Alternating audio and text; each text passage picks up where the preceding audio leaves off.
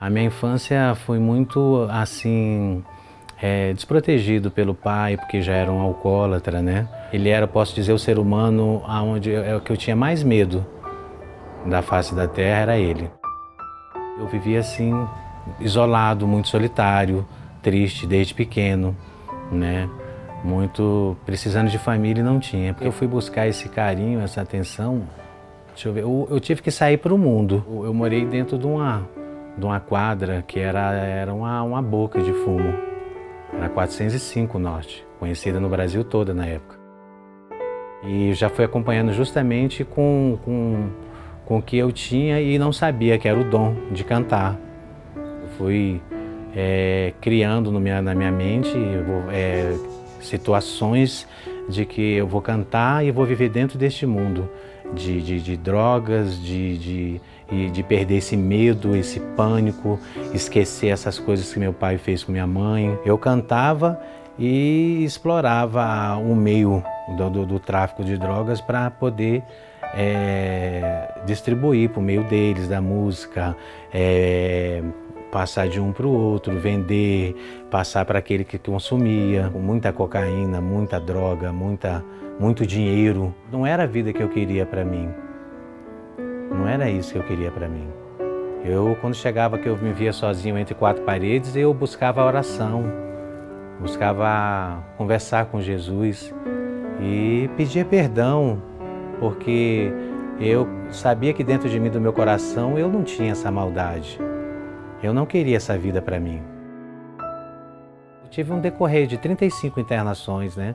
Por aí, em média ou menos, até 32, 35, eu não me lembro mais ou menos, foram milhões de internações. Eu queria me libertar disso. Quando eu saía, falava, acabou, não vai ter mais.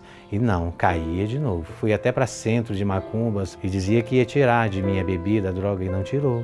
Minha última internação foi. tem. vai fazer sete meses. Não foi boa, eu pedi para sair, a minha mãe me tirou. Eu voltei com a minha, com a minha companheira.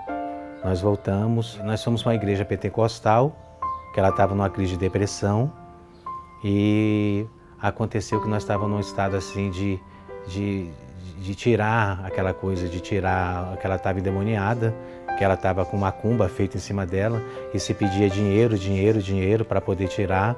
E que eu, que eu mesmo colocasse a mão em cima para tirar foi quando eu, eu, eu, vi um dia um programa na internet que era do pastor Ivan Saraiva, dizendo que Mateus 7, versículo 23, 24, né? De, de tirar demônios, de falar em línguas. E aquele eu saí da internet e eu falei para ela, eu falei, olha, vamos buscar.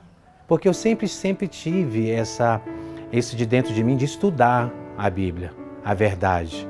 Eu nunca acreditei nessa muito nessas, nessa, nessas coisas que o homem fala. Então foi encaixando no que eu já pensava a Novo Tempo. Eu hoje sou uma pessoa agradecida a, a, a, 24 horas por dia é, por, por existir a Rede Novo Tempo. Eu oro todos os dias para que ela venha expandir no mundo inteiro, porque ela me salvou, ela me libertou. Ela me, ela me trouxe eu, eu, eu, aprender, ainda que seja um grão de areia que eu estou aprendendo hoje, com os programas do pastor Ivan Saraiva, Luiz Gonçalves, Bíblia Fácil, é, os cantores Arautos do Rei, é, as canções maravilhosas que eu escuto, puxa vida, é, é, me encanta muito, muito. É difundir o que eu buscava desde, eu acho que desde criança. Cadeia, né, morte, ou uma cadeira de roda ou em cima de uma cama. Era onde tinha que estar hoje. Não era para estar aqui. É emocionante você passar por tudo isso na vida e hoje você está em pleno estado de saúde perfeito. É, e hoje você está assim, viver por tudo que eu vivi e, e sabe, não, não sentir merecedor. A Novo Tempo me trouxe, é, me trouxe e me traz maravilhas a cada dia. Me sinto um novo homem. Eu sinto um, no falar, no gesticular, no pensar, que até nisso é perigoso. Né? É, em tudo isso eu sou uma nova criatura, ele vai me transformando a cada segundo, a cada minuto, a cada hora da minha vida.